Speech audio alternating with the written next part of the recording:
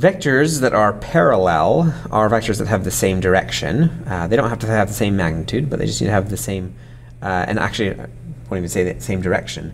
Uh, the angle between them, I should say, is either 0 degrees or 180 degrees. And uh, so they could have opposite directions.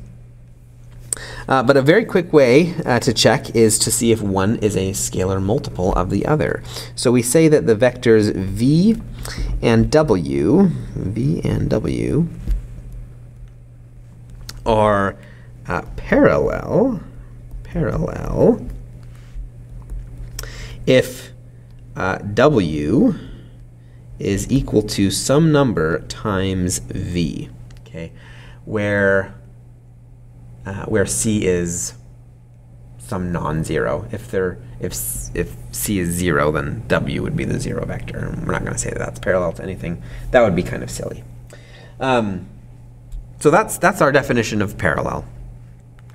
Perpendicular, that's when the angle, of course, is 90 degrees. And based on our definition of the uh, dot product that uses the angle between them, uh, the cosine of 90 degrees is 0.